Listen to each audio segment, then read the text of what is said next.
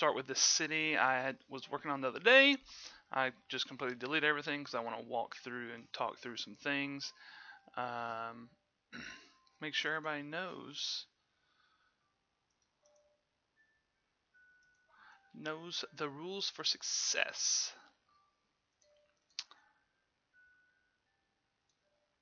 My voice is quiet.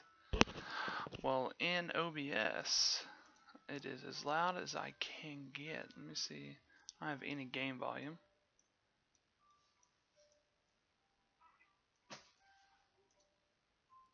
Get some volume there. Let's see, is there any way I can, uh, hmm. Nothing I can do to boost the mic output, I don't think. yeah, yeah, I just, I didn't see any game music while I was looking at the, the, uh, that stuff too. see if I can open that there. Um, let's see. Open, no, not the right thing. Open sound systems.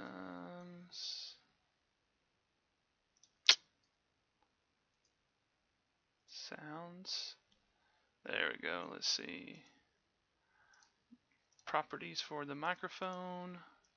Let me boost that up, see how that is.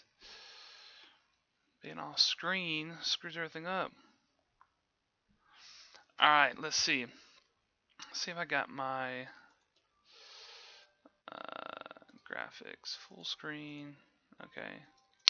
Make sure everything's set. So I'm going to go through some um, rules I have that uh, with or without mods will help you with your city skylines. So that is weird. Let me not use Google Docs for that because that was not showing up properly. I wrote these out earlier. I'm trying to pull them up, so give me just a second.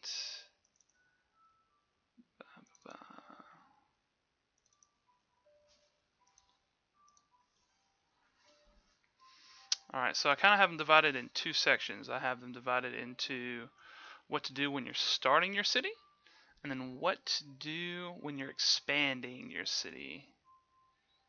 Alright, sweet. I don't know what this...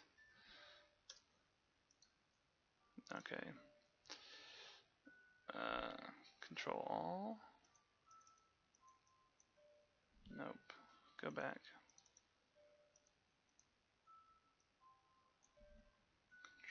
All. I wanted bold. All right.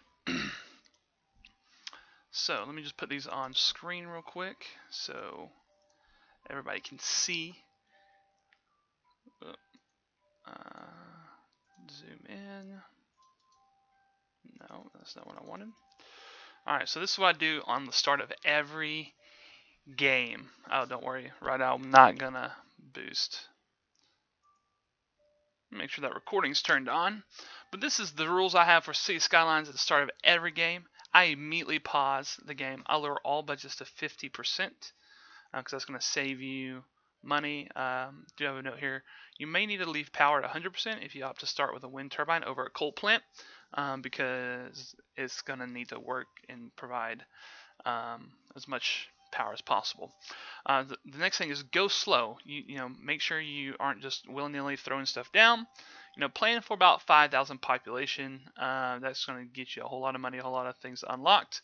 Um, but if you go ahead and pre-plan when you start, it will uh, definitely help you um, avoid a lot of problems. Because really, City Skylines boils down to two things. One, demand. Can you make demand for commercial? Can you make demand for industrial? Can you make demand for residential? You start off with residential, everybody knows that. But can you turn that into commercial, industrial?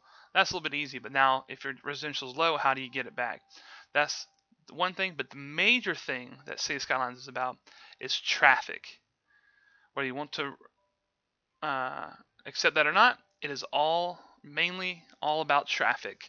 Uh, because if you have terrible traffic, city can't grow, your services can't get to people, people die, people get sick, all these things, people leave, and your city dies. So that's why you to plan for 5,000 people at the start. Uh, so make sure your roads are less likely to be um, to be congested. I also utilize both sides of the road for your on ramps and off ramps. So whether you're left-hand drive or right-hand drive city, I utilize both sides of uh, of the road for on and off ramps. And I'll show you how traffic works here in a second in City Skylines without any mods.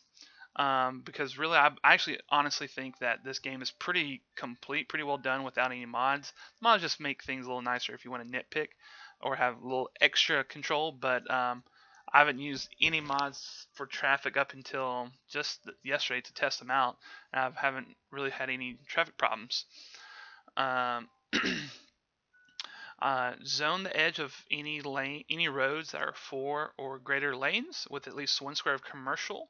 Uh, you could this is to avoid people parking on the side. You can also have those uh, lanes be or those roads, sorry, they uh, be lined with grass. For whatever reason, if they're lined with grass, people won't park there. Um, either way, it helps you out. and then you want to space out and minimize connections to medium or large roads so what I usually have is uh, two entrances to residential or four lane avenue and I split off um, within that you know little block or sector uh, for other residential roads. Um, your Sims, just FYI, will walk anywhere between four and 800 meters uh, to where they need to go.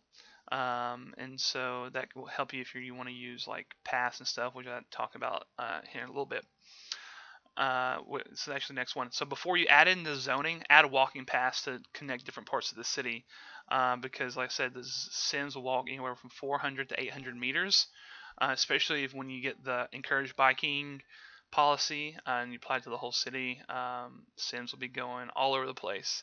Uh, and that really helps reduce the traffic, and it doesn't really cost nearly as much as any other public transportation uh, that you have. Um, all right, so moving on to the next one. So focus, residential, commercial, industrial. So industrial will usually always lag behind and be the lowest.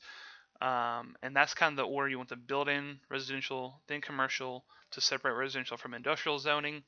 Um, later when you unlock offices, you can put offices right next to residential, they don't mind, but the vanilla industrial you don't want next to residential. They, they will complain. something I uh, learned after doing some different things, watching some YouTube videos and playing around, is to use mainly one-way roads for industrial to control the traffic flow better. Uh, one one road into your block, one road out, and kind of break up your industrial blocks into smaller areas, uh, if uh, possible, um, and you know kind of have like a about a 400 by 600 meter area for each industrial block. It may not be practical always, but it's something to shoot for. Um, then you always want to have a single loop back to the start um, for your service vehicles. Um, you can also add a policy later to ban heavy, heavy traffic on that uh, loop back so you don't have any of the trucks using it. Um, so I usually like to either use really widely split highways, which I'll show you what I mean in a second, or raised highways, um, so that I can keep my some services in the middle the beginning. So like fire, police, uh, healthcare, anything like that. So they're not taking up too much room otherwise. Um, if you zone this area with the Old Town policy later when you get it, it'll keep any other vehicles from coming in there except for those services. Um, in the and remember this is all for the start. So in the beginning, connect your power lines in the shortest possible distance. It may not look good, you may not like it, but this will save you money. And in the beginning, it's all about saving you money and getting you a, a, a good start. Uh, you can always go back and alter them later. Um, I don't really like how some people do, which is um, you wait for your area to build up and they're demanding power and they're demanding water and they're demanding all these things until like is fully built up. I think that's dumb. I would rather deliver power instantly um, to where they're at, unless they just unless they just absolutely explode with population, um, and then just delete out the uh, the power lines later. just because I want to try and maintain max happiness so that my my city grows as fast as possible um, and as big as possible.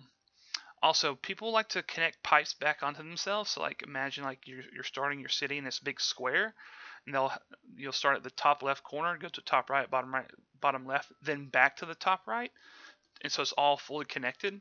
In real life, you know that's that's how it would work because you got to have flow everywhere. But I'll show you here in a second. This is what I do. I just kind of like spiral it so I have that coverage and I don't waste um, money on pipes that aren't needed. And yeah, so that that's uh, my rules for the start of the